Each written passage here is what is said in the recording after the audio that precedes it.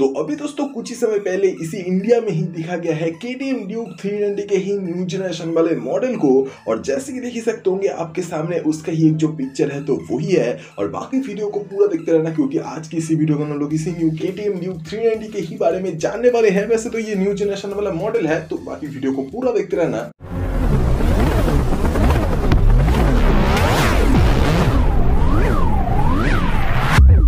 तो अभी दोस्तों कुछ ही समय पहले ही ना K T M Duke three ninety का जो न्यू जनरेशन वाला मॉडल है तो उसका ही एक जो इमेज है तो वो इसी इंडिया के ही अंदर से एक एक लिया गया है। मतलब कि अभी इसी इंडिया में ही K T M Duke three ninety के ही जो न्यू जनरेशन वाला मॉडल है ना तो वो अभी आ चुका है और फाइनली उसका ही जो अभी प्रोडक्शन है ना तो वो अभी होना शुरू भी हो चुका है और उसके ही साथ साथ भाई ये जो K T M Duke three ninety है ना तो ये बहुत जल्दी अभी लॉन्च भी हो जाएगा मतलब ये न्यू जनरेशन वाला मॉडल जो है तो वो ही। और वैसे दोस्तों वीडियो के अंदर आगे बढ़ने से पहले चीज़ मैं बताना चाहता हूँ कि बहुत सारा कुछ प्रोजेक्ट जो है ना तो उसके ही ऊपर काम जो है तो वो मेरा चल रहा था। तो इसी वजह से ये जो वीडियो है ना मतलब ये के टी एम ड्यूक थ्री का जो वीडियो है तो वो आने में एक दो दिन लेट हो गया। आई एम सॉरी बाबू।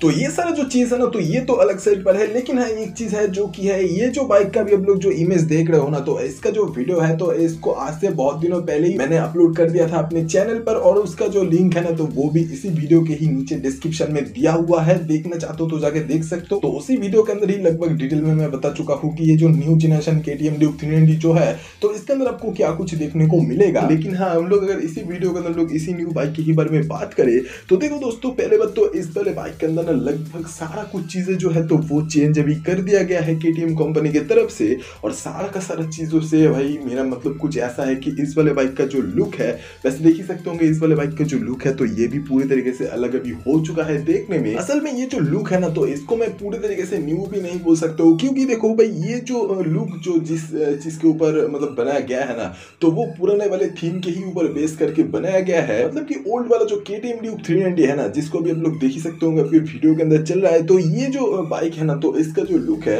तो इसके ही ऊपर बेस करके मतलब ये जो न्यू लुक है तो इसको बनाया गया है। वैसे तो ये जो न्यू लुक है ना तो ये अपने आप में ही बहुत ज़्यादा बढ़िया तो है ही। और उसके ही साथ साथ इस वाले बाइक के भी अंदर आपको जो डी भी देखने को मिल रहा है ना तो वो भी गजब जगह पर लगा हुआ है। और जैसे कि देख ही सकते होंगे, ये जो डी है तो ये बाइक का, ये चारों जगहों पर जो है तो वही है। और उसके ही साथ साथ भाई इस वाले बाइक का जो हेडलाइट वाला पार्ट है ना तो देख ही सकते होंगे, उसके अंदर भाई ये जो मेन जो जगह है तो इस जगह पर भी जो एक, जो डिज़ाइन का जो कटआउट है तो वो भी कुछ अलग तरीके से किया गया है। बाकी तो भाई, इस वाले बाइक के अंदर आपको अगर साइड से अगर देखोगे ना इस वाले बाइक को तो ये भाई साइड से भी देखने में भी थोड़ा सा अलग जो है तो वो अभी हो चुका है। मतलब डिज़ाइन वाइज देख ही सकते होंगे टैंक के ऊपर जो ये बॉडी पार्ट जो देखने को मिल रहा है ना तो ये भी अलग देखने में हो चुका है। और उसके ही साथ साथ भाई, इस वाले बाइक के अंदर आपको जो साफ़ फ्रेम और उसके ही साथ साथ जो चेसिस जो देखने को मिल रहा है ना अभी तो वो भी कुछ न्यू ही दिया गया है। और उसके ही साथ साथ इस वाले बाइक का जो स्विंग आर्म है तो वो भी अभी न्यू है और इसके अलावा अगर बात किया जाए इस वाले बाइक के इंजन के बारे में तो देखो दोस्तों, अभी के डेट में कुछ ऐसा ही बोला जा रहा है कि इस वाले बाइक के अंदर आपको जो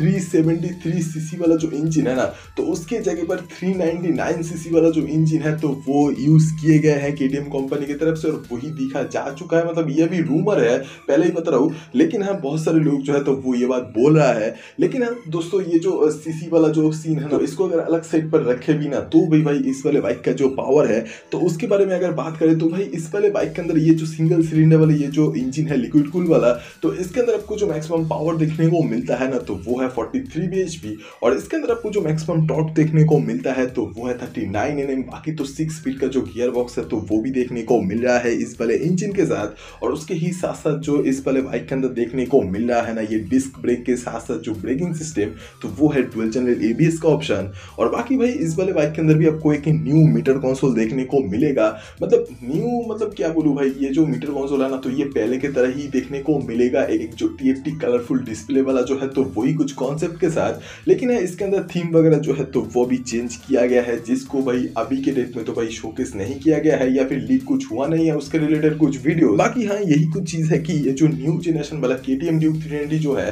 तो इसके अंदर आपको सस्पेंशन सेटअप जो है तो वो पहले की तरह ही देखने को मिलेगा। मतलब सामने जो है तो वो यूएसडी फोर और पीछे जो है तो वो है मोनोशॉक एब्जॉर्बर और इसके अलावा इस वाले बाइक के अंदर भी आपको देखने को मिलेगा जो ये लाइट्स का सेटअप ना तो वो पूरे तरीके से एलईडी के अंदर अंदर देखने को मिलेगा। बस अभी यही कुछ सीन है भाई, इसी new K T Duke three का, लेकिन हाँ आगे जाके जब भी इसी बाइक का लॉन्च डेट के बारे में कुछ ऐसा इन्फॉर्मेशन आ जाएगा, तब भी आपको मैं किसी न किसी एक वीडियो के अंदर इसी चैनल पर ही बता दूँगा। तो ये वाला वीडियो आपको कैसा लगा, ये कॉमेंट में बोल दो भाई। और अगर ये वाला वीडियो आपको पसंद आया तो please like share and subscribe करते हुए जाना। और सब्सक्राइब करने के लिए इसलिए बोलता हूँ, क्योंकि सब्सक्राइब करने से आप लोग ऐसे ही तरीके का और भी कई सारे कुछ वीडियोस हर दिन देख सकते हो इस वाले चैनल पर। तो वीडियो देखने के लिए शुक्रिया, अगली बार फिर से मुलाकात होगा दोबारा। Thank you guys